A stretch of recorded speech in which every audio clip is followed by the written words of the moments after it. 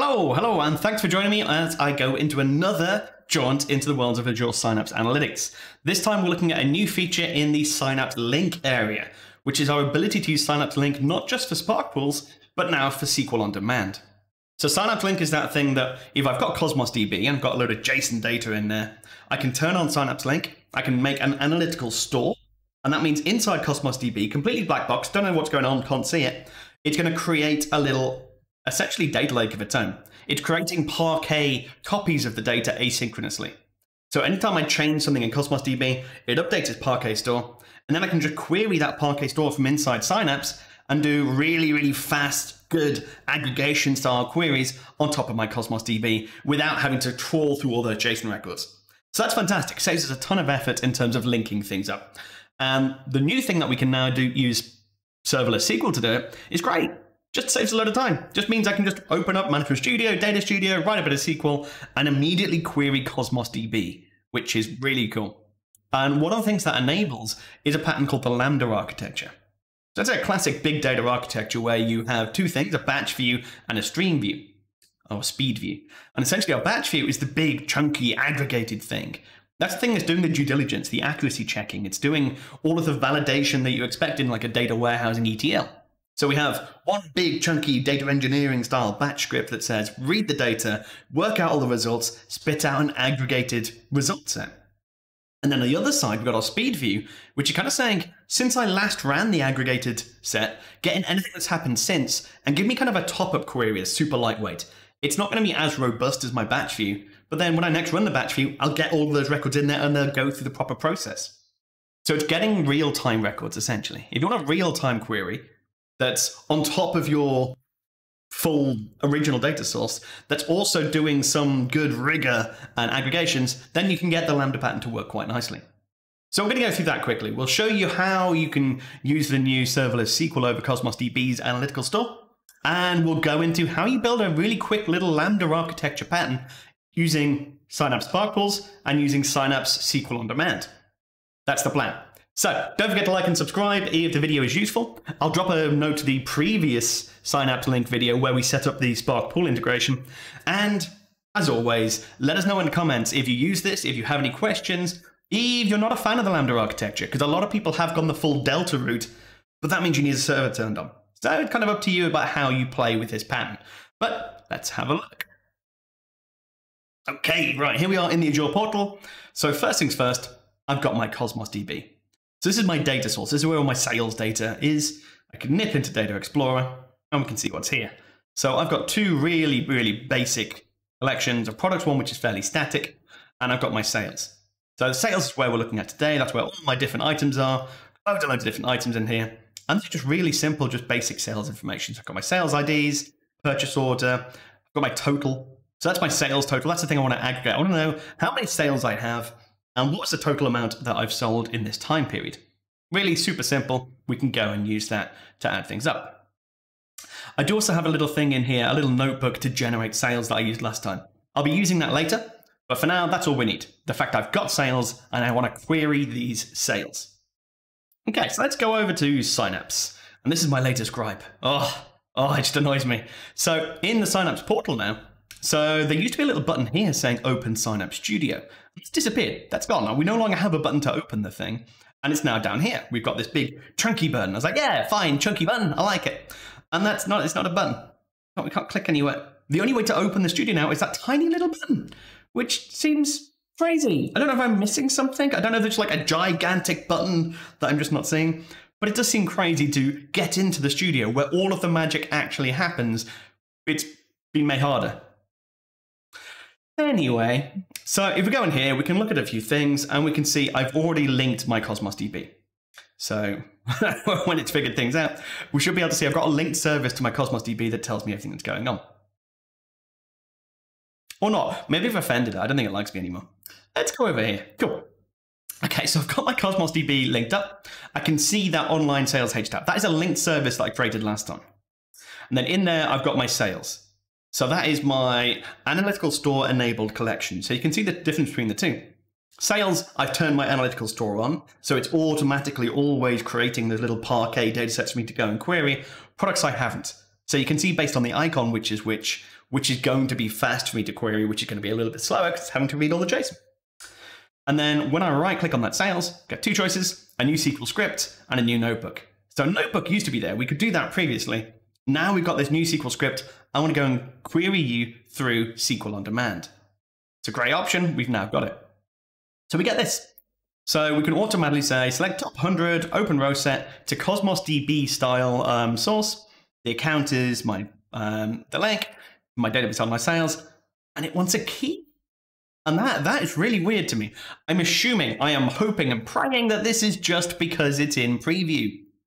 It's in preview within the wider Synapse preview. So to compare it to how we see it when we're going from the Spark pools, Spark pools loads up format Cosmos, option, it's a Synapse linked service. Go and get it from the online sales HTAP. Get it from my linked service. Don't bother storing credentials, hard coding credentials within the script. Now that hasn't been enabled to for serverless on demand yet. So serverless on demand needs a key. I need to hard code a connection credential into my script for to be able to use this kind of um, SQL on demand on top of my Cosmos DB. So I can go to Cosmos, I can go to keys, I can show the internet my keys. So if any of you actually bother handwriting out those keys to get onto my demo database, go nuts. I probably will recycle the keys there. Uh, and then I can run this and just get that as a live query across the contents of that Cosmos DB. So again, this is querying those Parquet files. It's not querying the JSON directly because this is an analytical, analytical store enabled collection. And there we go. So I can go and do that. So the fact I'm having to hard code things, uh, it's not great. But the fact I can do that, I can just write SQL directly over my Cosmos DB is awesome. That's really, really cool. So we can get lots and lots of stuff in there and we can go and get some facts and figures. So that's good. That's the new bit. That is the, the new bit of functionality is the ability to use SQL on demand either through the browser or through Management Studio, through Data Studio, anywhere that can talk to a SQL Server endpoint, Power BI, um, then we can actually now use this as a source. So that's cool. That's really, really good. Um, what's this Lambda thing? How do we actually build that out? So I've got a few bits in here. So firstly, a Spark script. So I'm using um, Spark, I'm in my Spark pool, I'm writing this in Python, and I'm saying on a new data frame that is spark.read, OLAP style, as I said, getting it from the linked service, so I don't have to hard code credentials, uh, and I'm just loading that in as a data frame. And then creating a quick uh, temporary Hive view so I can write some SQL over it. And I'm saying make a new data frame, which is spark.sql, select the count of sales, the total number of sales, uh, the total amount of sales, and bring me back my max timestamp. So I want to know what was the point that I last calculated this aggregation from. Okay, so that's in, that's going to go through and that's going to work things out. Uh, we can see what it looks like, so I can see if I ran this, I'd have total number of sales, sales amount, max timestamp, all of that good stuff. I'm then writing that out. So I'm saying just save it down to the lake, save it back to the lake. I just want to go and use that for reference. Uh, it's a bit overkill doing Parquet for a single record, but eh, it's fine. It's fine. Um, I'm then saying create a table. So I want to save this as a Spark Hive table called HTAP.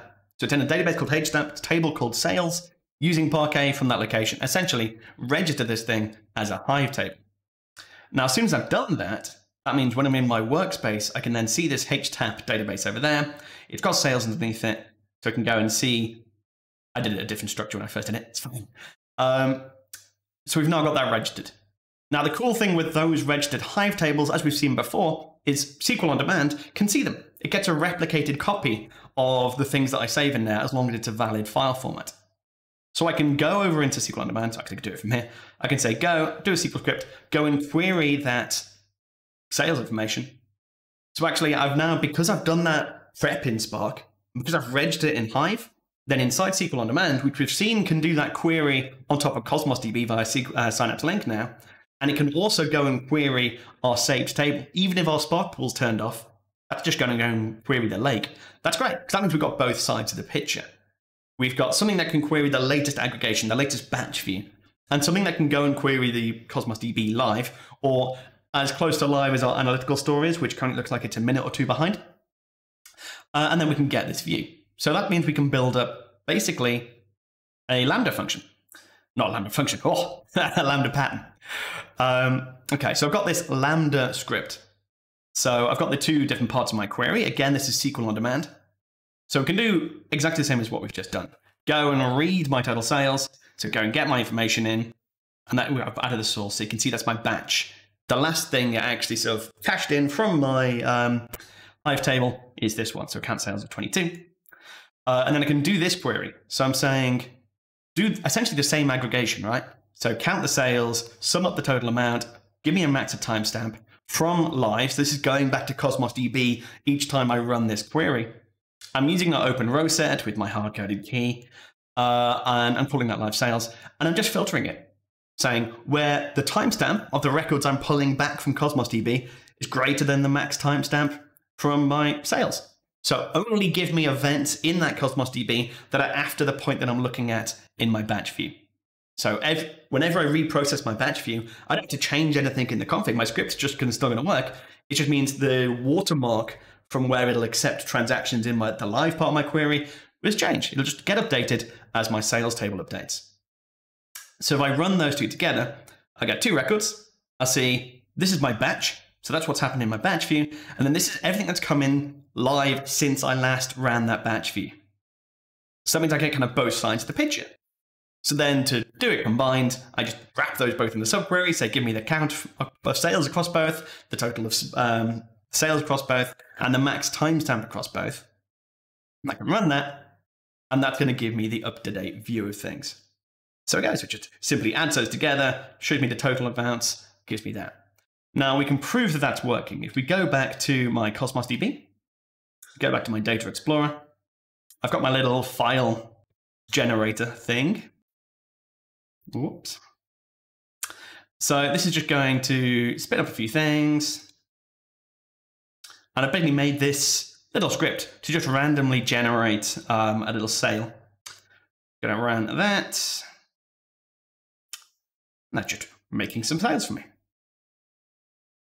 Mm -mm -mm. Now I've left this in a long one, and that might get a little sales collision. Uh, it might break. It's just a quick demo script, but at least that is now spitting out sales. So once we've given it a minute or two, we should be able to back inside Synapse rerun this and see our live total ticking up. So let's just do it on the inside one. Let's see if we can see, do we have more than nine in our live? If not, we might have to wait a minute or two. 15, okay. So that's now going up. That's now a ticking up. As we get new objects created in there, we should see this periodically update, which means if we run our whole thing, instead of seeing, what, 2631, we'll see that number ticking up as we get more and more things coming in. So this is now a live real-time query, real-time query. It, we're now as real time as the analytical store will be, which again, we've got no control over.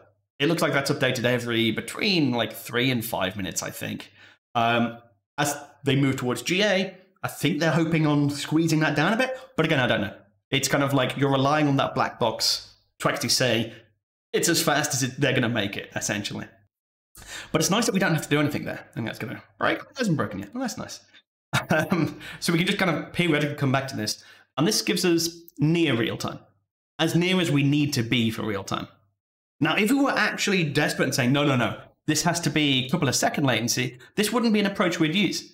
We'd build something that is actually streaming it, probably reading from the Cosmos DB change feed directly, and we'd be actually consuming those records via an actual stream tag. So I have a Spark pool spun up, ingesting it properly, constantly. Um, in this case, this is the easy mode. In order to do this, I don't actually have to have anything spun up. All I have to have is this is the last point I did my batch process, which could be overnight. And then this is going to run and charge me per query because I'm using SQL on demand, but I don't have to have a cluster spun up. So it means I can get within a couple of minutes versus uh, a version of real time without having to invest a ton in a load of compute that's just turned on waiting for me. So that is all I wanted to go through. That is the new part of Synapse Link, which is the ability to query Synapse Link using SQL on demand. And it's the ability to do things like the Lambda architecture. To be able to start to piece together some parts of that Synapse jigsaw, which is the Spark pools and SQL on demand and the Synapse Link integration and a bit of the Lake integration. And actually, we're starting to see some architectural patterns emerge as we get more and more mature through the preview. So that is all I wanted to share today. I'll put a, as usual, a video and a subscribe link and go nuts. If you haven't subscribed already, please do. It helps us know that what we're actually making is right for you guys. And as always, any of the videos you want to see, let us know in the comments and we'll see what we can do. Otherwise, have fun. Cheers.